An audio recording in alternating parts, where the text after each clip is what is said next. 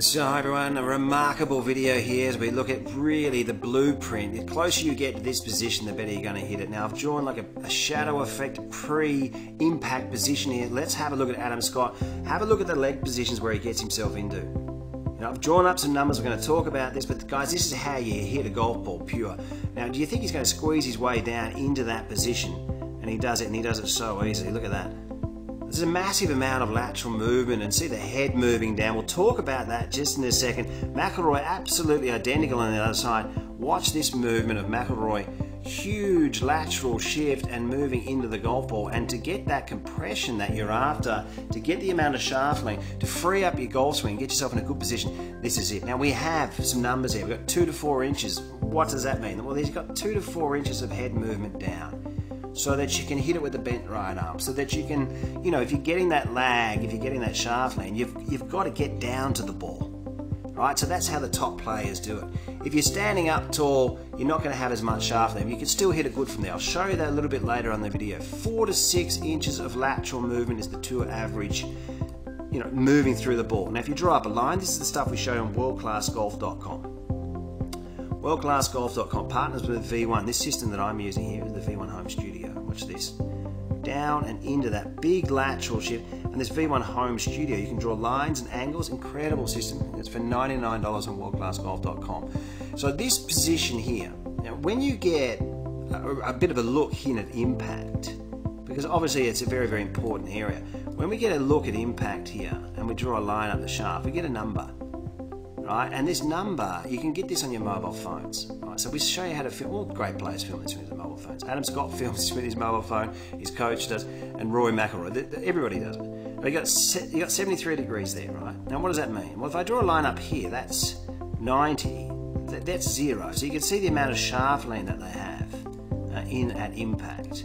17. Where's Adam Scott? He's going to draw a line up here. What have we got? 17 degrees. So extremely similar positions. Right, now if you can't quite get yourself into this position, I'm going to show you something really interesting coming up. Now this position here, when you get your checkpoint, when the left hand's under the chin, it's a checkpoint. Right, you draw, you see a lot of pros, most pros are around that area there with that. But you'll see them sometimes not as far down, but you won't see them hardly ever over a 20 degree angle.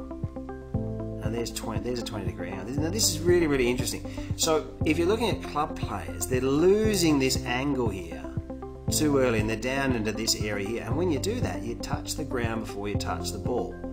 So I'm going to show you now something really, really interesting for a lot of you club players out there.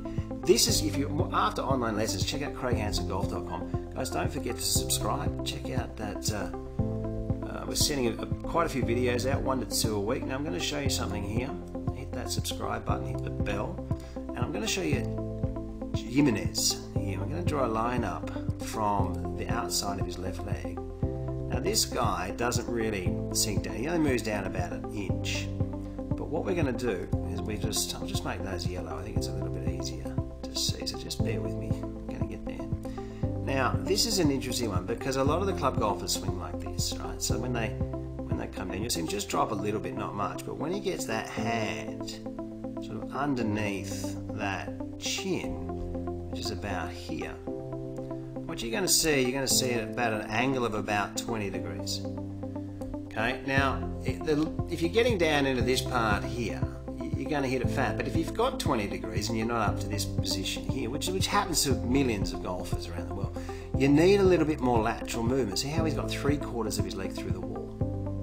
Right, so he's, he's moving a, a long way laterally, and the lateral movement will also help you get shaft lean and help you cover the ball so that when you see when he hits it, you know, he's still got the same amount. Really, he's got 17 degrees of shaft lean. So for a lot of golfers around the world, for a lot of club golfers, if you don't have the wrist angles, get a little bit more lateral movement. You're looking at swing characteristics here, matching up your styles to get you on the right you know, path to play your best golf. But you know, just ask you a question: Do you know how much lateral movement do you have? Have you ever drawn a line up from your left ankle? And if you don't, you know, I mean, it's a big problem for, for a lot of golfers out there. So what we're generally seeing for a lot of golfers is a big chance that you have this similar position. That when you're swinging through the golf ball here, or coming down I should say, when you get that left hand under your chin, I'll just, just, I'll just jump across a bit further, you're probably going to be seeing, see this angle here? See, we're going around 40, let's it down the shaft, 47 degrees. And from here, you know, you want to be able to get the club up to 20 at least and then get some lateral.